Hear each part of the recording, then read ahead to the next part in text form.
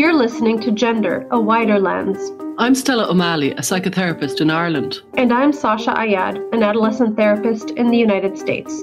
Since 2016, my practice has been exclusively dedicated to gender questioning teens and families impacted by gender dysphoria. I also work with gender questioning teenagers and I facilitated support meetings for families and individuals who've been impacted by gender issues. We're curious about the concept of gender and how it's unfolding in the wider culture. Join us as we look at gender through a wider lens. In today's interview with Buck Angel, we discuss some sensitive adult topics around sexuality. Just wanted to give you a heads up in case there are kids around. Here's our conversation with Buck. Hi there. So today we have uh, Stella and I have the pleasure of interviewing Buck Angel on our show. So hi, Buck, and welcome to our program. Hi, thank you, thank you so much. I don't want to say ladies in case it's misgendering. We're ladies. I think that's fine. I'll speak on my on my behalf. You can call me a lady. Thank you. Oh, yeah, you can call me a lady. Thank you, thank you, ladies. I appreciate you very much. Thanks for having me on. It, it might be stretching it a little bit to call me a lady, but yeah, yeah. Excellent it's hard to know where to start, really. Sorry, Sasha. It's hard to know where to start. You're kind of a monumental figure, very well known. I've I've never met, met you before, and I, I'm delighted to meet you. Um, where were you thinking of starting, Sasha? Because I, I, think I'm a bit awestruck. well, I'd love to just give you the floor, Buck. Maybe you can, for anyone in our audience who doesn't really know, you've had quite a remarkable life and a remarkable career. So maybe you could just tell our audience a little bit about who you are and, and what are the things that you do these days.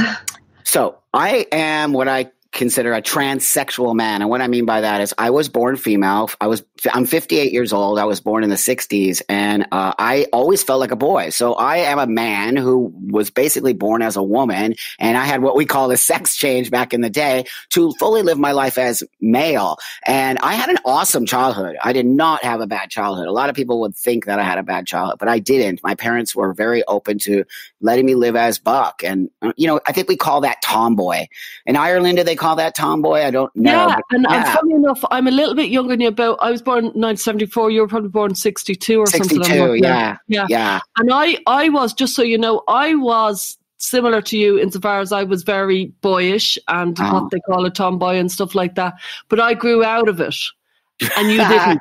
That's, that's right. I grew into it. That's beautiful yeah. that you said that because I always tell everybody in my talks, my parents were like, oh, she'll grow out of it. And I'm like, I grew into it. so I did. I grew into it. And, you know, the here's here's really the crux of my story is that I did not suffer as a child. I suffered as a as a as a sort of young teenager, mid adult. And why why I suffered was because I always felt male and the world saw me as a woman and I wanted them to see me as I look today.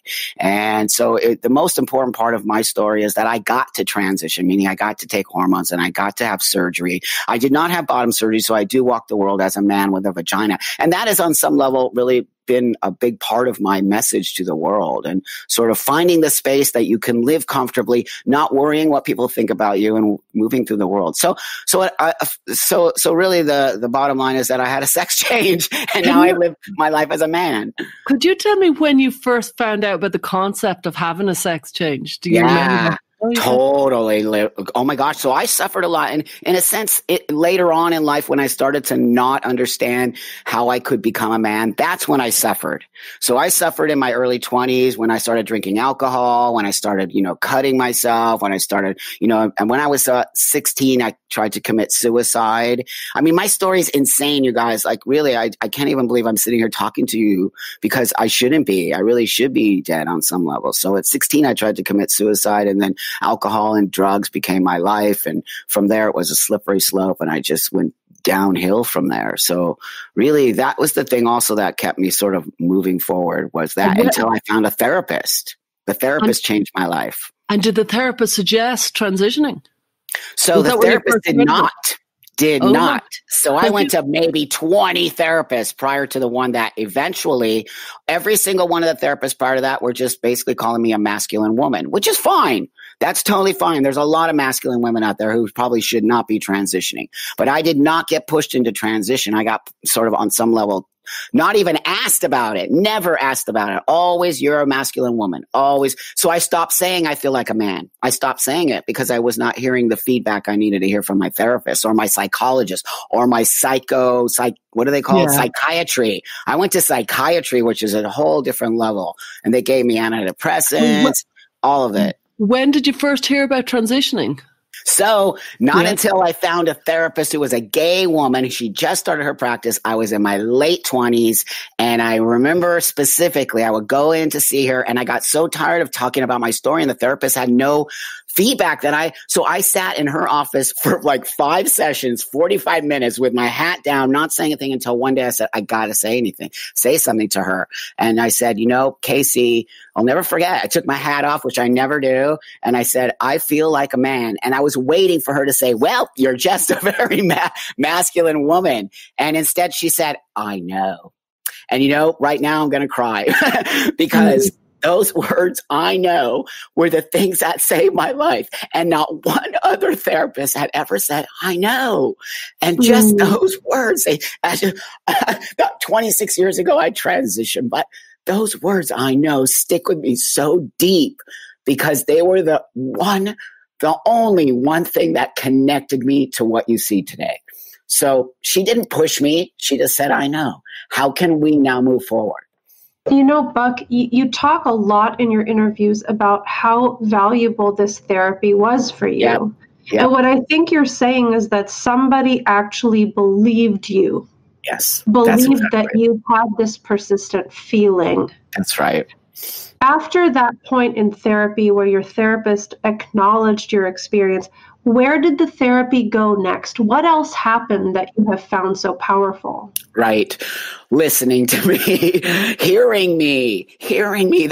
And this is what I know what's happening today is people aren't being heard and there's so much anger and there's so much frustration. When you're not being heard, it frustrates you. And I don't care who you are. I don't care if it's dealing with your sexuality, your gender, maybe your marriage, dealing with whatever. If you're not heard, it's like, ah, hear me.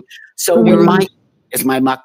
Uh, so when I, so when she said, I know, as you see, those are the two words I'll never forget in my whole life. And so from that moment on, she's like, she literally, and I'm really great friends with her today. She saved my life. And so she said to me afterward, uh, after my crying session, she said to me, "Now, now, what are we going to do? Because I don't know anything, and you don't know anything. So we're going to do this together, Buck, and we're going to figure it out together." And so we did. We we figured it out. How I don't know because there was no internet. There was no way for us to Google transition, trans, what you see today. All of that did not exist. We had to find books or other people or things who could p- sort of lead us, which there was none of that. None of it. Do you, do you mind me asking when you said, I feel like a man, mm-hmm. were you thinking, I want to change to be a man? Or were you thinking, I'm in terrible pain because I'm not a man? What were you thinking? Yeah, it's such a beautiful question. For me, it totally was I am. I know I am. I feel something inside of me feels that my outside is not Uh, it's it was more about my physical appearance because what I knew was I already knew I was a dude. Like I I knew it inside of me. I knew the way people treated me, all the other kids treated me that way when I was young. I was very solid in my desire to be one of those young boys, right? And then be my dad and then be a man. So it was that I I had this uh, just intense feeling of wanting to look and be and walk the world as a as a man and as a boy. So I don't really know any other way to sort of explain that other than that. It, it felt like it on my inside, but what didn't connect was my outside. And that I knew was the problem because people kept seeing me as a female and I kept saying, no, I'm a man. Do you think back in the, in the seventies and the eighties, people were, were okay with that? They thought you were insane where I did end up in a psychiatric hospital.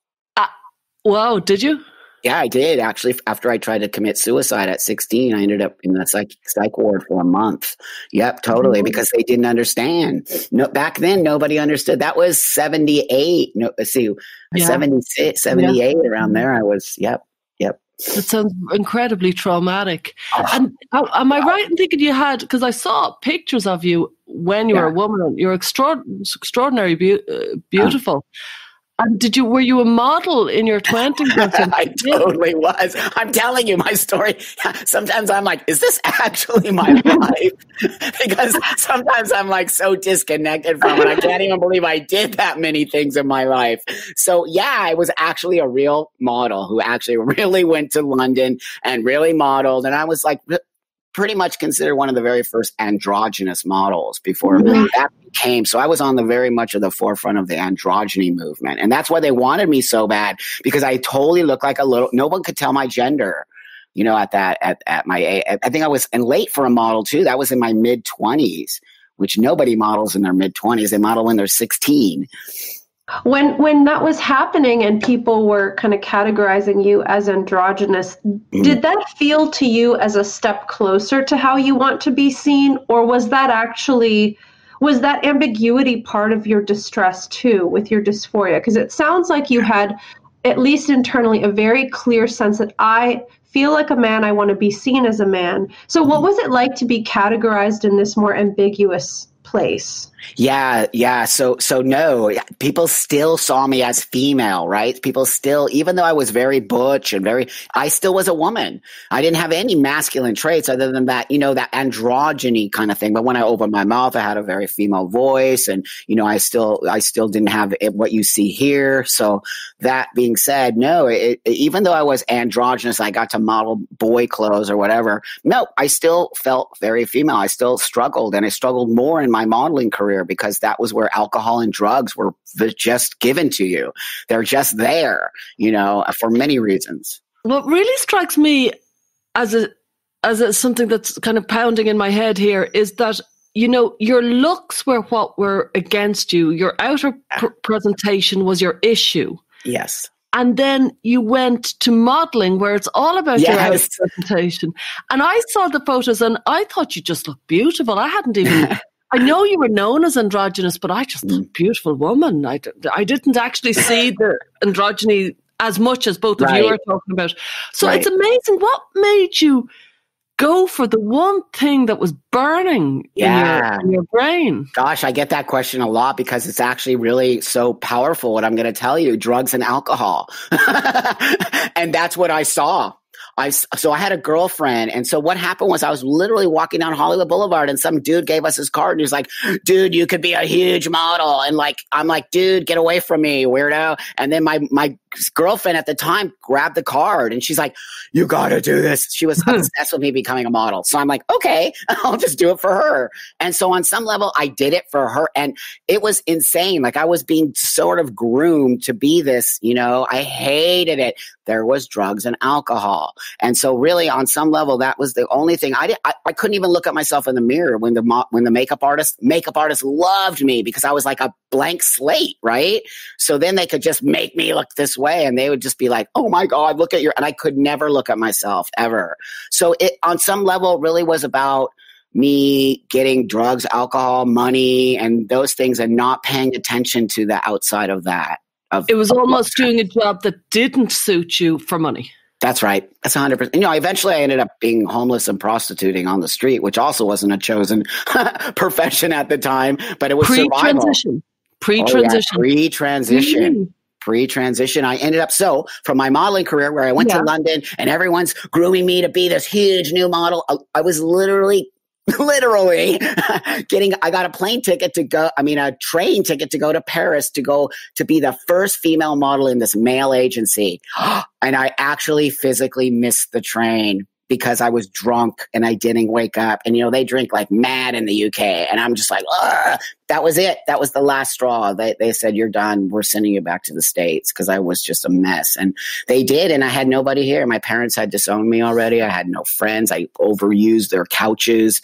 And oh, basically, I ended up totally living in Santa Monica Boulevard there. And, you know, prostitution isn't something you go to school for and survival prostitution. And so I just learned how to do it by dressing like this, putting my hat over my eyes, walking the street as a young boy, really on some level. And then it was just so easy. Like men would stop, men would pull over, hey. And then I learned the language and I learned that. And that's when I started like totally smoking crack. And I realized 20 bucks is how much a rock costs. And so I would just go, I would only, you know, like sort of master, I would masturbate them or give them um, blowjobs. Yeah. that was it. And you know, five, ten minutes and I make 20 bucks. And so it became that thing in and out of cars. And I did that for a while too. So survived. Yeah. wow. It's, it's fascinating because I'm also aware that, uh, you know, you also had a, I guess you could say an illustrious career in pornography as one yeah. of the first yeah. transgender porn actors. Yes. And it's just like uh, there's this pattern that I'm observing that the thing that really drove you crazy, which is your body and your presentation, ended up being something that you actually relied on to mm-hmm. move yourself forward in the world. And I think that's an interesting kind of juxtaposition. Can, can you share with our audience a little bit about your experiences in pornographic work? What was that yeah. like? Definitely. So, because I'm very proud of my pornography work. Now, pornography is not for everybody. It's not something people, everyone should have the opportunity to like it or dislike it or watch it or not watch it. That's totally how I feel. That being said, I, I had a wife at the time who was a professional dominatrix. And through that, I started working with a trans woman on the internet and really teaching myself. I want you to also understand I'm, I'm not a high school graduate. I'm a total dropout from high school. I have no formal education. I'm not an academic. I was called that dummy, right? So on some level, I also feel like I have to prove myself because the whole world was always calling me a dummy. And I'm like, I'm not a dummy. So mm. that being said, I have really a lot of desire to create and to show, uh, you know, to prove people wrong on some level. And so that being said, I was with a wife who was a professional dominatrix and I started learning how to make websites and I, we built a huge, like, sort of empire in the pornography domination world. And I noticed because I started working with a trans woman that there was so much trans women pornography. It was crazy. I'm like, but wait a minute, where am I? There what was year no, are we here? What year that was nine, that was 2001, 2000, 2001. And I was like, wait a minute, there's no, and that internet was just really kind of ripe. That's when pornography really kind of yeah just started to hit there. And so i was very successful in my other business with my with my dominatrix wife. We were making homemade movies literally getting people to pay us $500 for vhs homemade movies. We were making so much money. It was crazy. And then i just saw that there was no trans woman no, no trans man porn. None. Did not exist. Did not exist. And i just had the idea and my, i'll never forget. My friend said to me dude that is the most brilliant idea. You will mm-hmm. change the world. And I was like, dude, I'm just making porn. I want to make a million dollars. I don't care about changing the world. Who it was never clientele. Who's the- so great question, right? I actually created a genre of pornography. that's my claim to fame that didn't exist. And if you think about it, that's kind of insane because Google anything right now, you'll see it, right? You'll you, mm-hmm. you can mm-hmm. see foot smoking, gum chewing, clown yeah. porn, and there wasn't me. And so oh, I just gay men. Uh, right. So who's going to watch my porn? Yeah. Who, right. who's watching So I made a movie with me and all bi- uh, biological, I call them, but we call them cisgender today. So cisgender women, right? I made a movie like that. Then I made a movie with all cisgender dudes. And then I made a movie with women and men. And the number one movie that sold was with all men.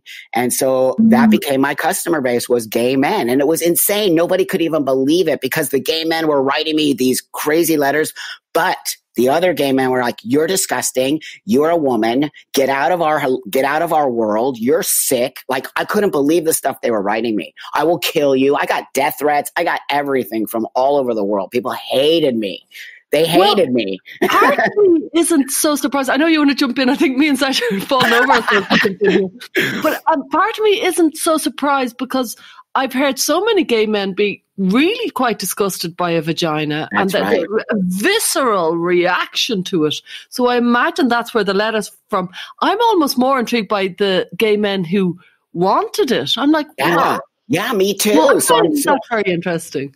Uh, believe me, I did because that was the last p- person I ever thought would be interested in me. But then I started to realize, look at me, right? I'm yeah, totally a dude.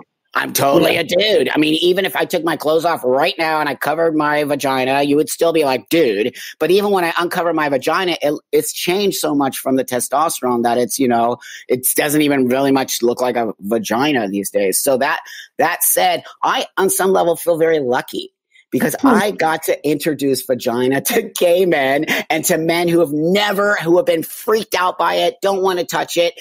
And it's literally like after I introduced it to them, they couldn't stop. they couldn't, I'm like, because vagina is actually made. It's actually made to have, you know, intercourse. That's like an actual thing. Yeah. So like, that's why it feels good. and it was crazy. Like I, I had sex with men who had never in their life, you know, 30 year old, 50 year old men who never had sex with a vagina. Who are, who are attracted to the male form. And that's then right. the concept of the vagina is actually a very pleasant that's right. thing. I mean, on some level, I feel happy that I got to introduce them to vagina.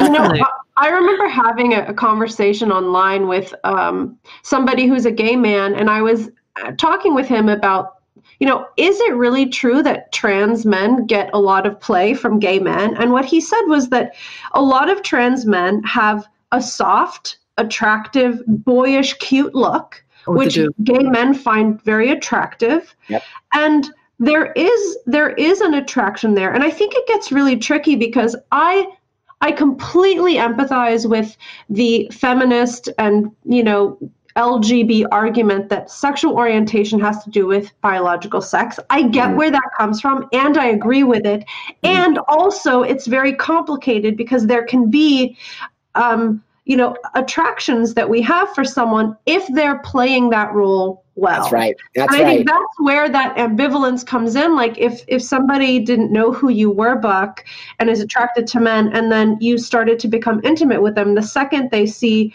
your genitals they might have this like oh god oh god what's happening? But up until that moment there is a genuine comfort and attraction to you as a man. So it's really mm-hmm. tricky and it's not so simple as just yes, you can be attracted to anybody based on their gender identity and it's mm-hmm. also not so simple as you would never be attracted to somebody trans just right. because their biological sex is different. So there's a lot yeah. of gray area That's here, right. I think. That's right. Thank you for saying that because you know right now in the and there's just so much of this discussion of you have to be attracted to a if you're not attracted to a trans person you're transphobic. I am so disgusted that anyone I've been working in the sexual wellness field for 20 years and I'm telling you that is such a bunch of nonsense. The stuff I had to deal with early on with gay men, now they see trans men. No, no, no, no, no, no, no. They never did that before. I had to get a take a beating by gay men in order for them to understand we are dudes and I had to explain to them your attraction to us is physical. Our body, whatever you're seeing there is, you might get to the vagina, but by the time you get to the vagina, you're going to be like, oh, he's a dude.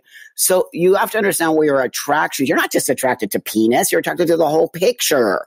So, so it's really been a very uh, sort of awesome that I could do that. But at the same time, we have just this stigma of like if you're not attracted to somebody, you're homophobic, or you're not. People are attracted to people, things. They're not, you know. And I also want to say this: I disclose always before I have sex. I never have sex without without ever disclosing who I am and what I am because I think it's disrespectful. But that's just my space. Is it just your space, or is it an appropriate space? Well, it's an appropriate space, but I can't. Um, I cannot force anyone to disclose, and I have been called. Uh, I have been called victim blame. my community, some, not my whole community. There's some in my community who just always want to take the piss out of me for some reason. They're just constantly after me. So, so yeah, I guess uh, when I say you should disclose because you'll create a better space, they call that victim blaming, and I'm like, hmm. what? I go, you're going to less get yourself into a space of victimization if you actually are honest about who you are. Are you going to disclose that you have HIV? Because mm-hmm. you better. Are you going to disclose you have an STD? You better, right? Yeah. It's the same yeah. sort of courtesy. There's a bit of irony because the same, you know, the same argument would hold that consent is very important. And yes. yet there's no consent in some communities. Right. There's no consent when it comes to disclosing your that's right. Know, biology or who you are. So and I don't I think agree. That's, that's, a good point. But yeah, I don't agree. But again, I'm not. So I I got because I told the community you need to disclose. You mm-hmm. need to disclose. There was a, a, trans woman who had gotten killed at the time. And so she had gotten killed because she went home with a guy. And then the guy found out that she was actually, you know, a trans person and she still had a penis. And he killed her because he freaked out because he thought she was a woman. And I said, this is why we need to disclose. And then all of a sudden I became the victim blamer. I'm like, like, I'm not blaming her. I'm using her as an example. And I'm saying these are the things that we need to look at. We need to use these horrible experiences as a means and a way to have better lives and not fear going home with somebody. I don't understand why people don't see my intention there. I, I, do think there's another reason to disclose, which is kind of owning yourself and being you who go. you are and being Beautiful. proud. yeah, being Beautiful. proud to, to be who you are and this is you don't have anything to hide. I think when That's people, right. you know, that great phrase, "We're only as sick as our secrets." I think it's yeah. true. I Me think too. it's true. Me I too. Could I ask you something? I hope you don't find it um, too probing, but oh. you know, you decided not to have phalloplasty. Mm-hmm and you, you decided to let's say keep your vagina. Part of me thinks, um, to me, I suppose that you you it's for it's it feels like it's the presentation of the male was much more important to you than the yeah. the the thing that isn't seen, which is the vagina. And I'm yeah. wondering psychologically, where's what's that? Yeah, so it's it's a bit difficult because I'll be honest with you, I probably would have gotten the surgery back in the day if it was acceptable enough for me. Again, my story, I'm going to tell you, I'm not anti bottom surgery, but I am um, this is my story and why I choose not to do the bottom surgery. So back in the day when I transitioned 26 years ago, we didn't even have the internet. So I couldn't even really see what these, as it started to progress and men started putting them in clubs. I just in, in like you know in the internet when you can go into like a private Yahoo group. So people started posting their results, and I just wasn't happy with the results, and I, I didn't see the thing I needed to see, and I also didn't see erection. I didn't see uh, urination through it. I saw horrible scars on people's bodies, and I saw all of these problems with it, and I saw gangrene happening, and then I know a guy who actually had to have it removed, and now he has okay. no vagina. I, no I hear you. So, so I hear you. that put me off. But I, I, am surprised that didn't make you think, well, I need to step back because the, the, the last step, which is the, the vagina, which, you know, completes the, the, the kind of the outer That's and the inner or whatever, uh, completes yep. the presentation. I'm yep. not taking, will that not be a stone in my shoe for the next 26 years? And yes. has it been? No. So I, of course I thought that. I'm like, I'm never going to, I'm never going to survive this. I need to have a penis. There's no way I could ever live my life. How am I going to have sex? How am I going to have all of those things? And so I'm going to tell you that the, re- the, the defining factor in me keeping my vagina was masturbation. And so I started to masturbate secretly without telling anybody because I was embarrassed of my masturbation of my vagina. And so I started to masturbate and I had an orgasm and I'll never forget that orgasm. I'm like, I'm not deal for Buck Angel. I'm like, I'm not getting rid of my vagina. This thing is amazing. When, when was this age wise? What time? What's the timing the of that? First year of my transition. So I was like, what, my early 30s, I think. Wait, you had yeah. never orgasmed before you started transition. So I never internally orgasmed, right? I never put anything inside of me. So I did clitoral orgasm, but only in the dark, drunk. I was like a mess, right? So most of the time with my clothes on, uh, things of that nature. So I was not comfortable sexually with my vagina as a woman, uh, especially as a butch woman and dating feminine women. So I was in that pretty much that space when I was a gay woman. I was very much into the butch femme space. And so, yeah, so it wasn't, uh, my boobs were totally off limits uh, things like that. So it wasn't until I became more masculinized and I started to the testosterone heightened my libido, and I and I just did it because it was like I couldn't not do it, and it was yeah that was the most liberating liberating day of my life on some level, and I mm-hmm. really had to think about it. I had to think about it. It was and it didn't time. make you more friends. Well, it did make you more friends with your vagina. Yeah, I, are you kidding me? It's my best friend. so yeah, that's when I was like, wait a minute. All of the guys I know, because there was more guys starting to come around during this time, and we had those little Yahoo groups. They were all focused on the penis, and I was freaked out because I wasn't. So I wouldn't voice mm. it. I wouldn't talk about it because I was too scared that the guys were going to think I was weird had you uh, let you come in, Sasha, because I know I'm dominating here, but had you orgasm when you were 20? So rubbing, what would have rubbing. happened? Yeah. So I would get on top of my girlfriend or whatever if I wasn't drunk or high, and just rub and grind as a man, you know, like just like that. But had had you had the experience that you had in your early thirties, had you had it, might that have made life easier for you? No, no, it wasn't. No, it wasn't necessarily about sex. So okay. I had sex, but I had it in a weird way. But that okay. said, no, I don't think so because it was so internalized. My desire to be male, my desire to okay. be male, overrode anything out there. It, it would have overrode sex if that was the case. So I most definitely think that it wasn't. You know, and I get your question, and I think it's an important question. I think there's two things that are coming up for me. So, one, I find it very interesting that when you started transition, I'm going to just throw mm-hmm. a guess out there. Yeah. It started to physically validate what you wanted to be.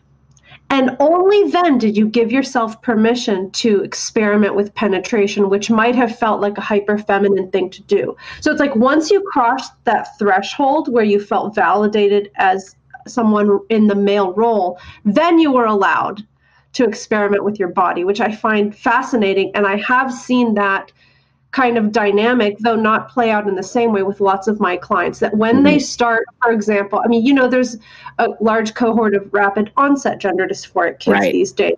And what I have seen is that sometimes only when a young female starts T does she allow herself to wear a pink sweater, for example, or like right. do something that she thought was feminine that she wanted to do, but wasn't quite able to because her gender dysphoria created right. this drive to be more masculine. And then I guess the second thing I'd love to ask you about, Buck, is that I often think about what are the psychological characteristics that probably help someone transition successfully and these days, my impression is that a lot of young people are embarking on transition without having the psychological traits that they need to do so right. successfully. And like two things I'm noticing about your story is that one, you found a way to radically accept yourself, even though you didn't quite fit in either box perfectly well you weren't the typical trans guy who was going all the way with phalloplasty and you obviously don't see yourself as a woman but you found a way to be okay with this third space and maybe we can talk a little bit about your medical experience because you have been through hell and back with your so medical true. experience and you have stayed because you probably had no choice, but you've stayed radically grounded in the fact that the body is real, pleasure in the body is important and real, and like taking care of our health is real. I know you've campaigned a lot for health for trans people. So, like, can you share with our audience a bit about what what kind of a guinea pig basically you became yeah. in the medical world? Yeah, thank you. Thanks for all of that. So, so yeah, I actually am a guinea pig. So, really, what happened was my great therapist, her name is Casey Weitzman, by the way, and she, after that, she started the Gender Center here in Los Angeles. So, she just geared her whole practice towards the trans community. And if you need an introduction, I can. But that being said, so after that, we said, how are we going to do this? And so, one of the things we did is we we actually contacted Stanford University because they just had started, a, I think, a gender identity program there, and they sent me a book. Look, you see how thick that is a booklet that big that I had to fill out of my history, everything, blah, blah, blah, blah, blah, blah, blah, blah. Sent it back to Stanford. Never, ever to this day heard back. So that puts you in a weird space. And so then I just go to the bookstore and I find this thing and it says the resource guide for transgender women. So, me, so men becoming women. And I'm, there was just something that clicked in my head. I was like, oh, that's opposite. Inside of there, I found a doctor, okay, and Dr. Leave. And Dr. Leave said that he does hormones for male to female transsexuals. So I told my therapist and she said, call him. So I called him. And he was old. Not that that's a bad thing, but old. And he, he's like, get a note from your therapist, which is what we had to do back in the day. Get a note from your therapist. I brought it to him. He basically told me he's never ever worked with a woman becoming a man. He's only ever worked with men becoming women. And he's more than happy to help me. But I'm, he said it, you will be my guinea pig. And I, at the time I was like, well, I'm not really sure exactly what that means, but like, I don't care because I did have the mantra. The mantra of my mind was if it doesn't work out, I'll kill myself. I said it every day every day till about maybe even 10 years into my transition. If it doesn't work out, I'll kill myself. It was my safety. It was the place where I felt like I could just take myself out and who cares about if nothing works? Because again, remember, I didn't get to see any other trans guys. I didn't get to see what I was going to look like. I'm an experiment. It's scary. You were totally alone. You were totally alone. I don't think people even understand it. They don't. And I had a girlfriend at the time who dumped me she dumped me because she was like, You're starting to look like a gym queen because I was like going to the gym and pumping up. And, you know, she was a gay woman. And here I am changing to a man. And it's totally understandable. But that so was you didn't know you didn't know any trans men? None. None. Okay. I didn't know what I was doing. I had no idea what I was oh doing. God. It was like insane. And so all I saw was this booklet of, of men becoming women. And then from that, so I did, I started the testosterone and, but, and God, that doctor, swear to God, that's going to make me cry too, because he was insanely amazing. And he taught me how to inject myself. And he said, kiddo, you're going to have to do this for the rest of your life. And I don't want you coming in here and I don't want you relying on me. You're going to rely on yourself. And I was like, I'll never forget that. These, I, I was taken care of by real professional people who cared about me. And so from that, I decided that I wanted to get my breasts removed. But how do I do that? There's there's not even any doctors that do that. So I went to a bunch of doctors in LA, Orange County, around. I found people who did uh, mastectomies for for women. And so then I thought maybe that's the same thing. And pretty much all of them called me a freak. All of them were like, you're disgusting. All of them were like, gross, get out of here. And I was like, I don't want those scar. I don't want scars. And then, and cause I thought they would just have to basically chop them off. And then I said, I would like to try to get a chest that doesn't show. And they're like, that's not possible. If you want it, it's this amount of money. And I'll just, you know, I'm like, wow, it was so Ugh, it was so depressing and gross. And I just thought, what am I going to do? You know, I, I use duct tape to to strap my boobs down back in the day and ace bandages. We didn't have binders. So we had to come up with things that were just everyday things. And so all of a sudden I went, I decided, why don't I just go back to that book? And I went back to the book and there was a Dr. Gary Alter who does plastic surgery. He does urology at UCLA, head of urology at UCLA. He created vaginoplasty. He created all of these things. He works with trans women. And I called him. He said, come in. And he said, you know, man, I've never worked.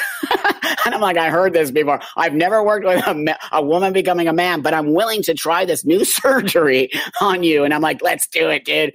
And um, the keyhole incision. And so he did the keyhole on me and it came out amazing. And so what, like what is that? Keyhole incision? The keyhole incision is where they cut right underneath your areola.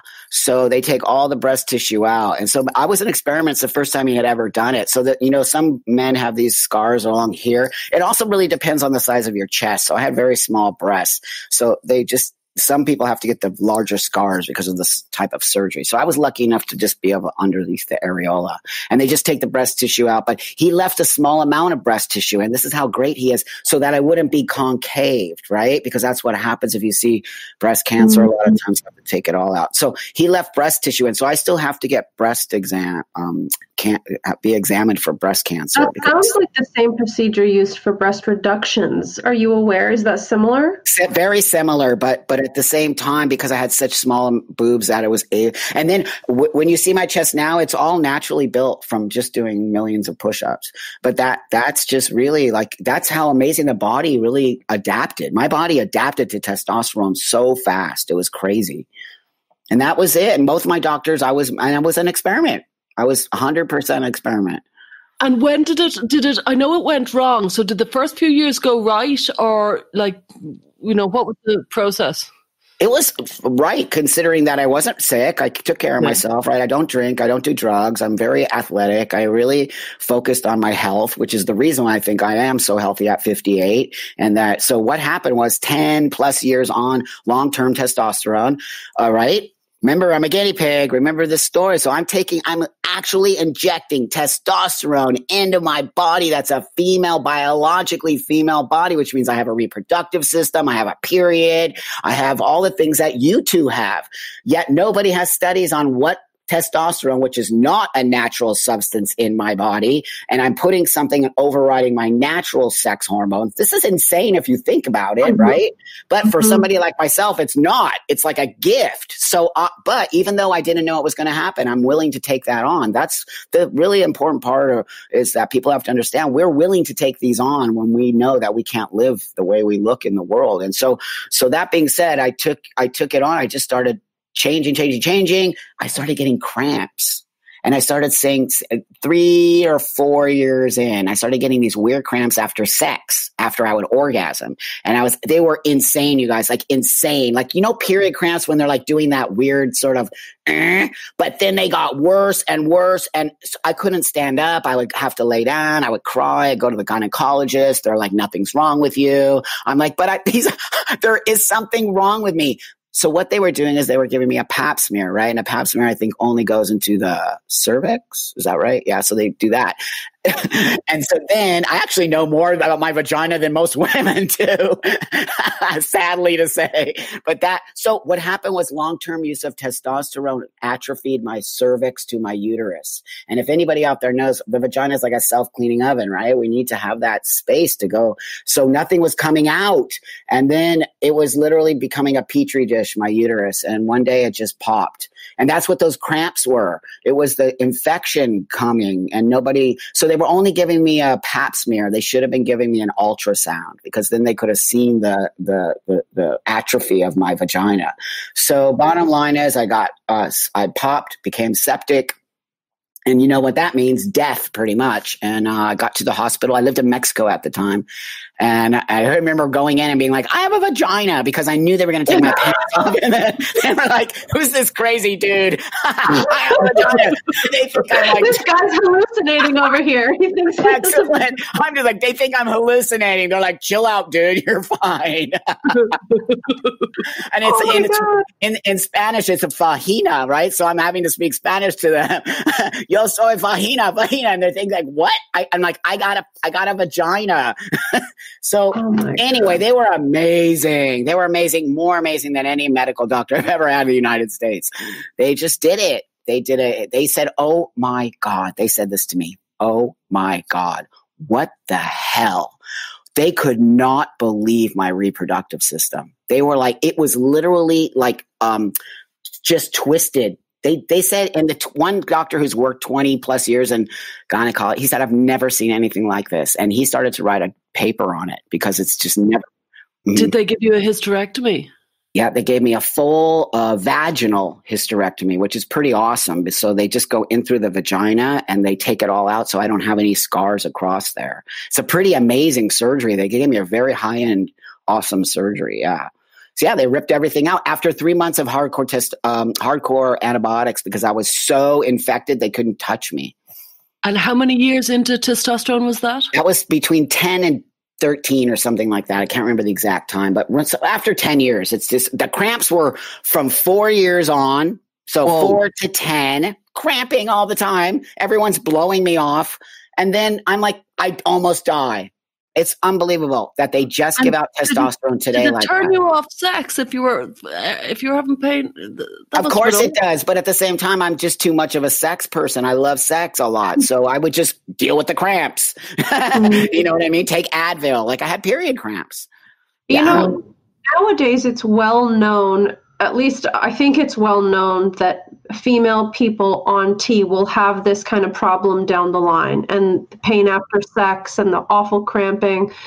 And I guess um you know Stella and I have our own perspective on how seriously should people be taking these kinds of transition procedures but I'd love to hear from you because on one hand I can imagine if all of this knowledge had been readily available your road would have been much easier and on the other hand, when we make it seem like, oh, no biggie, in five years, just get a hysterectomy and it's not a big deal, I think that minimizes how seriously a, a person should take these procedures and really evaluate is this the road for me? You know, you, you said, like, for you, if this doesn't work, I can kill myself. And I've also met some people who are actually functioning quite well and they're not really suicidal, but they take transition so lightly that they're like, oh, no biggie, I'll just get on T and get a hysto. So, wow. so what do you think wow. about that? I mean, well, I'm actually wow. yeah. I, yeah, this is the problem that I have as an elder. And so because I'm an elder and an older person who's transitioned a long time and have a lot of information, again, I need people to understand my story is my story and everyone's transition should be different and is different. We are not the same. We are not a monolithic group of people.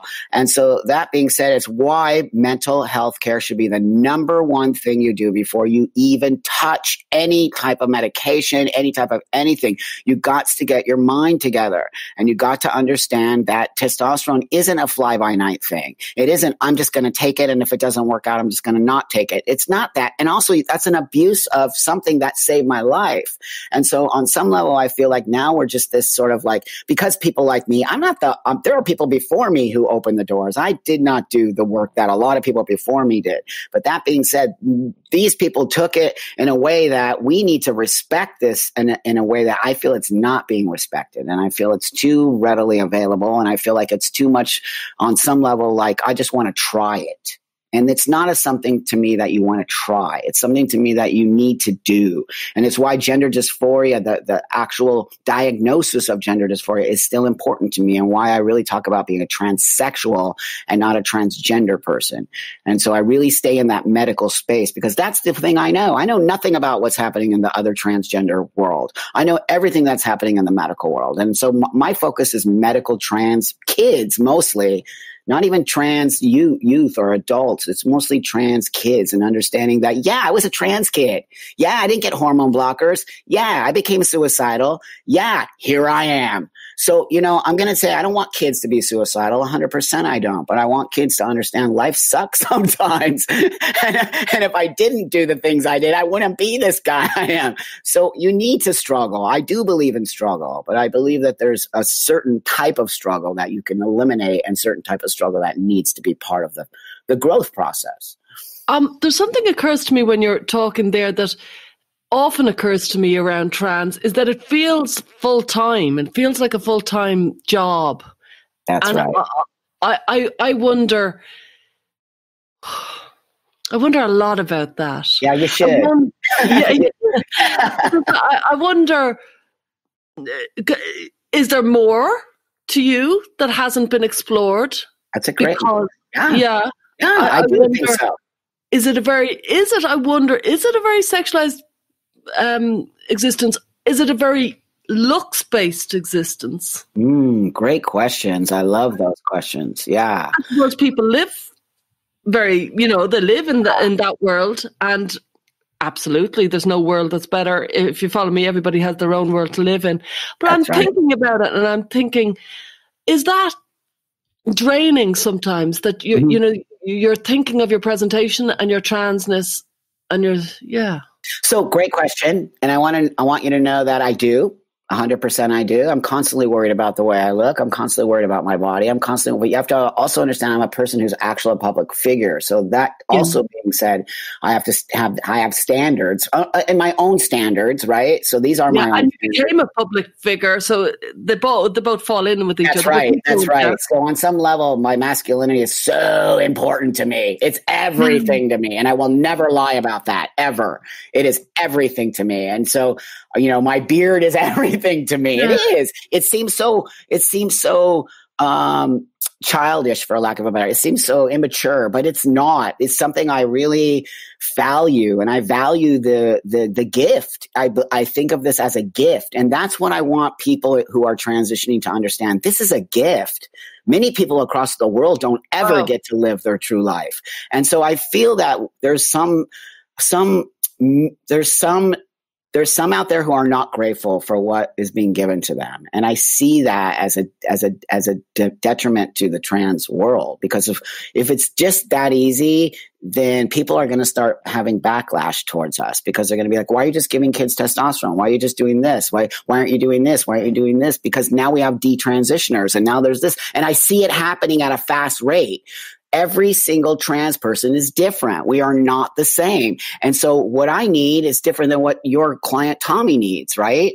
Uh, but I think at the same time, it is important to understand for a transsexual, and it's why I continue to do that. Transsexual people, it's all about our presentation. It's all about our appearance. We have gender dysphoria. We need to walk the world in the gender we want to be. That that's so simple. There's no there's nothing more simple than that. A, a lot of people want to leave their looks behind. Just yep. I yep. am who I am. I don't even want to think. I don't even want to think about my looks. Oh, whatever. Because you don't have to. because you don't have to, if that okay. makes sense. I think we, okay. again, I don't want to speak for the trans community because yeah, I'm not, but I, but I can say from me, my own experience and my, my friends, my transsexual friends, we, we, we live for our, we live for our experience. We live for our, the way we look. That's just how we live. And on some level, it is exhausting. It's exhausting. Yeah. yeah. Every day I have to like worry about the way I look. It's exhausting. and so many people who've detransitioned have said, I became exhausted. It's the real common word. Thank I you. got tired. And you know, back in the day, there wasn't so many detransitioners, and it's why I bring that question up. So why today? If it didn't happen before, why today?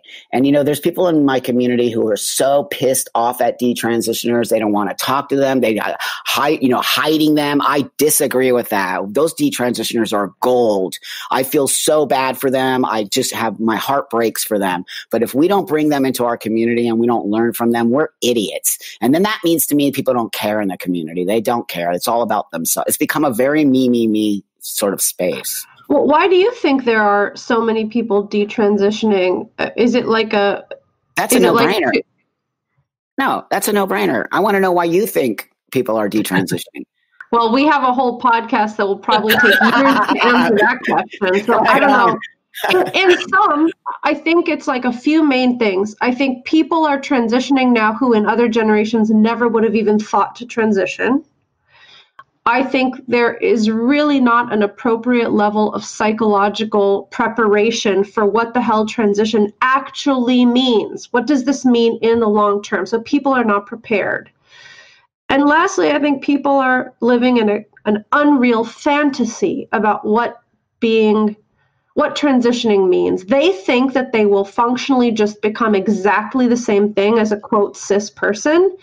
And that is just not true. And I think there's entire industries that are willing to play along with this fantasy because it's really hard to look someone in the face and say, you know, honey, I know you really believe this, but let me tell you, the truth is A, B, and C.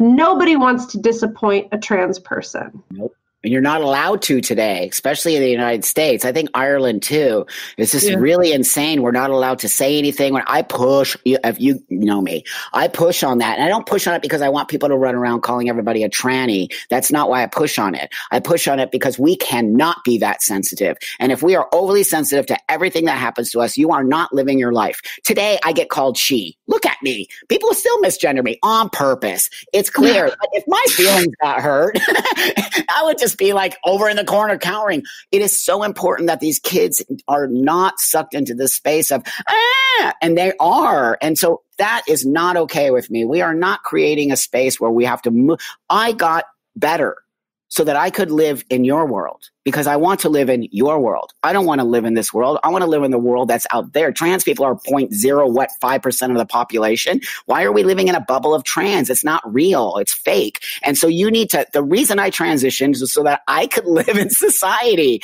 and I could be a a, a person who creates a million products and has an amazing life and is that kid who was called dummy. So mm-hmm. that is why people need to understand my transition was to save my life so that I could go back into the world again. And that's what I'm thinking think is missing in the conversation is that why do you want to transition? Not to be trans. This whole identity thing of I'm transitioning to be trans. I never transitioned to be trans. I transitioned to be Buck and to be a man and to move back into the world. So that was the red light for me or the thing that said, wait a minute, people are wanting to be trans.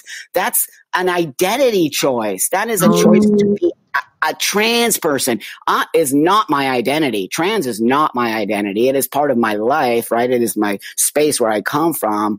But so you see what I mean? Yeah, like I don't understand yeah. this identity of trans. That that threw me off. Is that the no-brainer when when we ask, you know, why are people detransitioning? What's the no-brainer in, in your opinion? Mental health care. Bam. Nobody's going to mental health care. Not one of those detransitioners. Some of them maybe did, but they went yeah. to a gender. They went to yeah. a gender therapist. Gender therapists are geared to have you transition. They are in no way, shape, or form going to open their mind specifically to say, wait a minute, maybe this is not, this is my experience with gender therapists who are only practicing in that space. And I think that there's gender therapists who need to be taught that's not all transition is for every child out there. And you need to have that in your, your you you need to be prepared to say this isn't for you. Even if it's going to hurt that child's feelings, you need to be prepared to say, no, you're not trans, you're gay, or you're, you know, we're wiping out gayness. Like, what? That's why I really don't want to tell my part of the story where I was like being told I was a masculine woman my whole life when I wasn't. But I don't even want to tell that story anymore because I feel it's flipped. I feel the mm-hmm. narrative has flipped now and it's the other way. And that scares me. I agree with you about the detransitioners. Myself and Sasha work, and we, we're in the Association for for detransitioners and and oh, wow. uh, desisters, IATDD. However, um, it occurs to me, and I think one thing that I've really noticed from working with detransitioners is that uh, they, the, the therapy they got was very bad. I, I just can't get over the, the, the quality of the therapy. It was really bad quality, low quality therapy if they got any therapy at all. But the question that comes to my mind is, it feels like you know you're you're the the vanguard. There you were, you know, in I don't know what year it was that you were transitioning. What was it, 1992 or something like that? When was it? Uh, something like that? Yeah, something like that that. Yeah, I don't even know. Yeah. Like, what is it? Thir- 26 years ago. 1994. yeah. yeah, 94. That was it. You're right. Yeah. so you transitioned then. Do you know any other trans men your age? Oh, sure. Uh huh. Okay. Are. So they were around. It yeah. wasn't that they weren't around. They were mostly in San Francisco, maybe, or there who were starting. Everyone, there was a small Yahoo group and that started around the first year of my transition. And so there was a very small group of guys. Also, look at FTM International. That was also a very popular, and in fact, I might even still have it. I have so much great stuff from my early transition that I kept. I even have that book. So there's a thing called uh-huh. FTM International, and that was a book that they would send around to all the guys. So it was very small. Is there trans men older than you? Oh, there's trans men older than me. Totally. Uh, uh, gosh, I can't think of his name right now. He works at WPATH. He's one of the guys on WPATH, which I'm not a fan of WPATH. Just putting it out there. They're, they're no, they took mental health care off the. I'm like, what? You people yeah. are sick, and self ID is sick. I'm telling you right now. I don't care what anybody thinks about me. I'm going to say it, and I, and you know what? It's because I have a lot of experience. I'm not saying this to be a jerk, and I'm not saying this because I don't care. You're saying because you were a soldier. You you've been through it. You know the physical reality of it. So you you That's say right. be careful, be careful. That's like transition. I'm telling kids. I'm telling you. I'm telling kids this.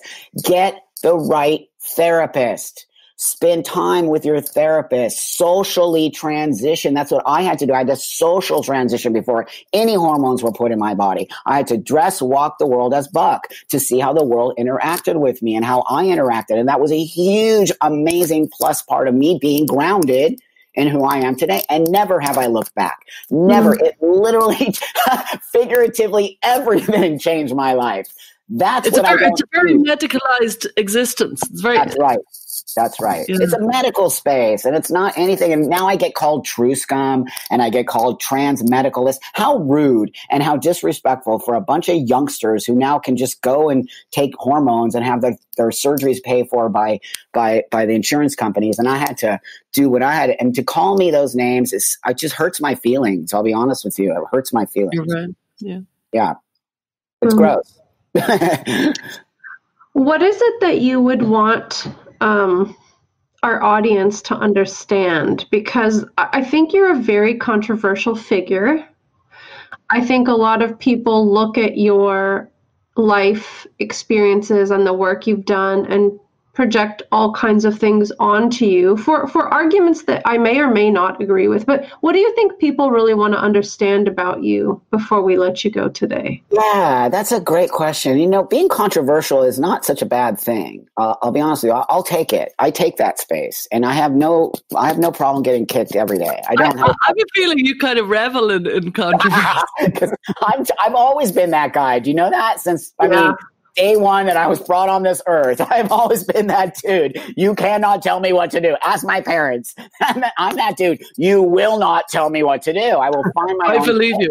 I want to say, wait, Stella, and I just had a conversation about this. So maybe, maybe, yeah, that's, that's, a trait that we all share. So, it's so you're real- saying you own the controversial space that you're that's in. That's right. And the reason, I, the only reason I'm controversial, and I'm going to tell you, the only reason I know is, is because I don't adhere to the language, to the ideology that I think is there's an agenda. I will not be part of that. I refuse to be. So now I'm considered sort of like this bad, evil trans person who goes again. I'm a truscum. I'm a TERF. I, I, I side with cisgender people. I saw, you know, I'm like this. Uh, it's so crazy. And I'm like, you guys are dividing what are you doing? You're dividing. I'm actually mm-hmm. trying to build bridges. I'm I'm the guy here in the middle that says, yeah, maybe you need to shut up, JK, and we can have a conversation and everything is cool. You're not trans. I don't necessarily think she's purposely transphobic. I think she just needs to have a talk with some trans people and we can all like figure it out. Everything she said, she has a right to say. She has a right to say that. She has a right to feel that. As I don't woman. think she's transphobic at all. I, think, I don't I think, I don't. Her language can be a little, but who cares? Honestly, it doesn't mean anything to me. I, that's what I'm. I'm using her as an example. I'm the guy who says here wait a minute, community, she's not doing that. And my community is like there. And I'm trying to like, that's me. And that's why I'm controversial because I'm the guy who wants to create coexistence.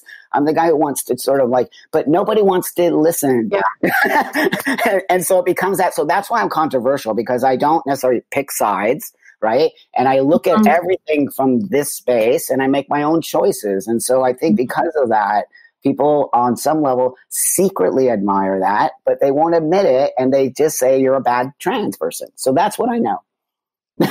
you're holding a space in, in, the middle of so many axes here. That's right. And I think that, that drives everybody a little crazy, but right. I think we love it, and we're we're so glad to have had you on. Thank you, friend. Um, thank you for your work, both of you. Thank you for your work. I totally appreciate it. It means a lot to me. So I appreciate you guys. Thank you. So, where can our audience find you if they'd like to learn more about Buck Angel? Uh, buckangel.com, Twitter, Buck Angel. Watch out for Twitter. Uh, IG, little chiller, Buck Angel. And then Facebook, which I'm not big fan, but that's official Buck Angel. So okay. you can catch me on Twitter being very political. You can catch me on IG putting more about my story on there. Okay. Pre- appreciate you. Thank you so much, you guys. And Thanks, yeah. Thank really you so much. Good conversation. Thank you. Thank you. Thanks for joining us this week on Gender, a Wider Lens. This podcast is partially sponsored by RIME, Rethink Identity Medicine Ethics. RIME is a nonprofit organization dedicated to improving the long term care for gender variant individuals. Visit rethinkime.org to learn more. If you found value in our show, please review us on iTunes and subscribe so you never miss an episode. And you can follow us on Twitter, Facebook, or Instagram. Just go to our link tree. That's linktr.ee slash widerlenspod. Our discussions are for educational purposes only and are not intended as a substitute for mental health services.